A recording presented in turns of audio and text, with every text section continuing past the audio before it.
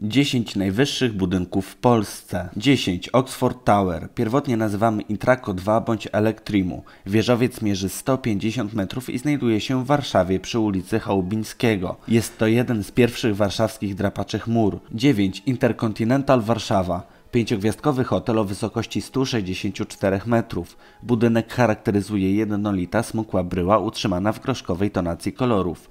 W hotelu urządzono 414 pokoi, w tym 76 apartamentów. Na 43 i 44 piętrze, 150 metrów nad ziemią, powstało centrum rekreacji z basenem o wymiarach 6 na 14 metrów. Jest to najwyżej położony basen w Polsce.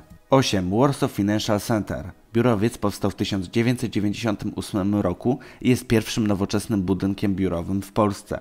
To właśnie on zapoczątkował powstanie centrum dzielnicy biznesowej. Całkowita wysokość budowli to 165 metrów.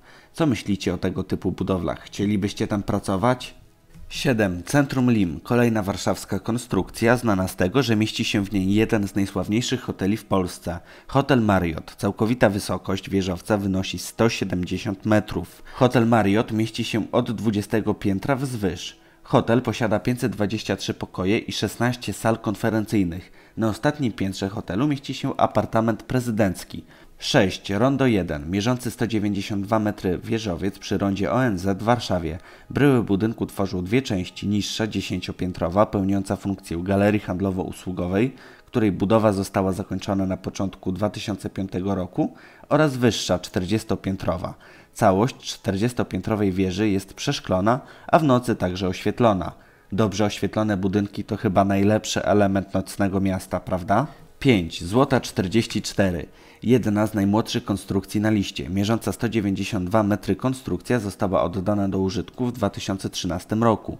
Złota 44, będąca jednym z najwyższych budynków mieszkalnych w Polsce oraz w Unii Europejskiej, jest luksusowym apartamentowcem o 52 piętrach i 287 apartamentach, z których każdy jest inny. Cena za 1 metr kwadratowy wynosi 7 tysięcy euro. Warto mieszkać w takim budynku, czy raczej preferujecie domek na wsi?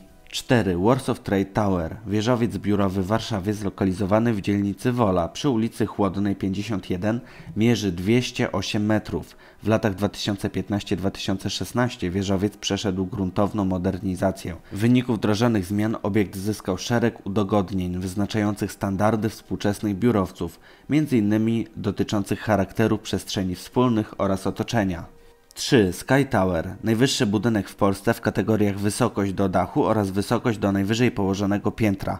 Wraz z dwoma innymi budynkami stanowi kompleks mieszkalny, biurowy, handlowo-usługowy i rekreacyjny we Wrocławiu na osiedlu Południe. Jego wysokość wynosi 215 metrów. 2. Warsaw Spire. Kompleks budynków biurowych w Warszawie zlokalizowanych w dzielnicy Wola przy Placu Europejskim 1, 2 i 6. W skład Warsaw Spire wchodzą trzy budynki. 220-metrowy wieżowiec oraz dwa budynki boczne o wysokości 55 metrów. Ich całkowita powierzchnia to około 100 tysięcy metrów kwadratowych. Kompleks został oficjalnie oddany do użytku 12 maja 2016 roku. 1. Pałac Kultury i Nauki.